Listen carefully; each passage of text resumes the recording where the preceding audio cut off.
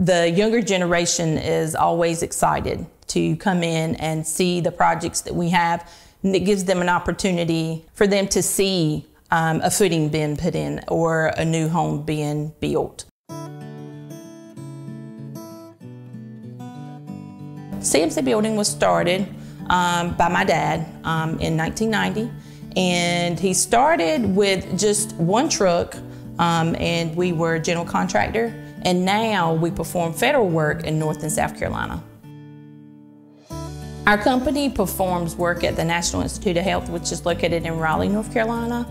We also work with the U.S. Army Corps that is at Fort Bragg, North Carolina, and um, NAVFAC. And what we do is we can come in and we can do a new renovation for you, or we can build a facility from the ground up. CMC Building performs projects between 250,000 to 10 million. Our company chose Southern Bank because they offered um, a construction loan for one of our customers. I like working with Southern Bank because they're friendly staff.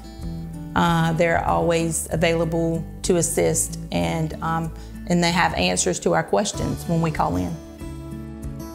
I'm big on Southern Bank because Southern Bank is big on my business.